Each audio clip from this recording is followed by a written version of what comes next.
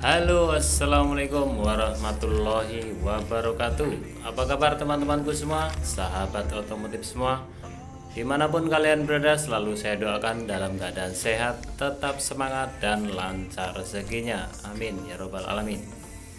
Oke teman-teman pada video kali ini Saya akan berbagi cara mengganti kabel klem Atau kepala kabel metik pada mobil Ford Fiesta tahun 2012 1400 cc ya. Nah barangnya seperti ini barang barunya udah saya siapkan.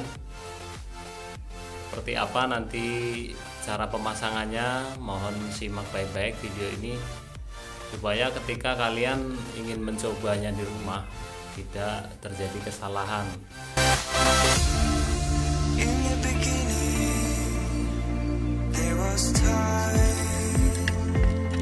Oke, yang pertama didongkrak dulu mobilnya supaya lebih tinggi.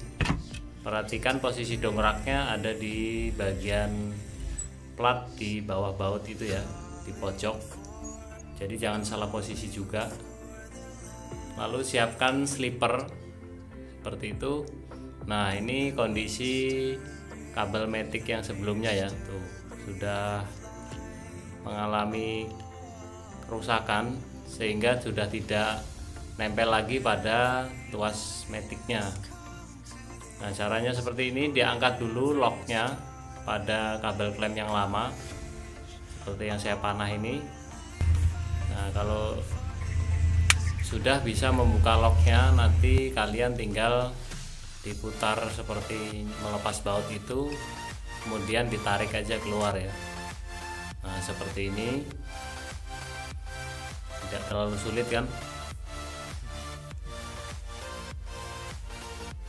Oke selanjutnya siapkan barang barunya. Lalu pasang seperti posisi awal kalian membuka kabel klem ini.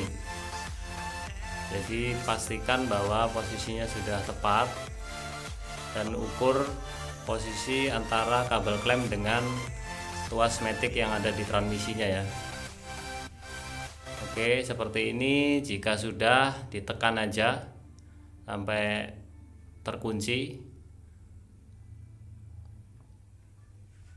Kemudian jangan lupa untuk lock bagian belakang kabelnya harus dipastikan sudah terkunci dengan baik. Karena jika tidak nanti akan lepas ya kabel metik yang dari dalam kabin itu.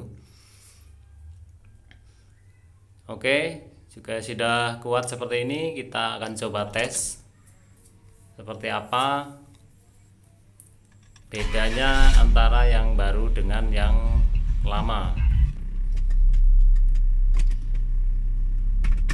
Di sini terlihat presisi ya dari P ke R ke N D. Itu posisinya sudah tepat jadi tidak mengalami kedip-kedip di indikator transmisinya nah, karena sebelumnya sudah oblak sehingga di saat uh, perpindahan dari posisi antar transmisi itu terjadi error ya. Ini sering sekali terjadi pada mobil Ford Fiesta karena memang uh, kabel klemnya ini bahannya hanya dari plastik.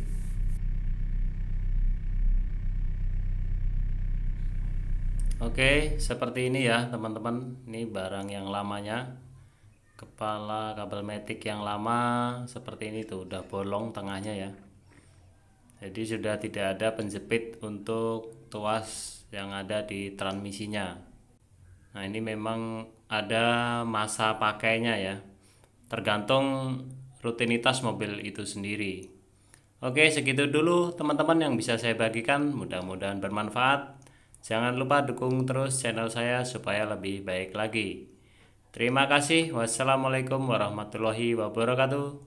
Salam bintang auto. Yeah.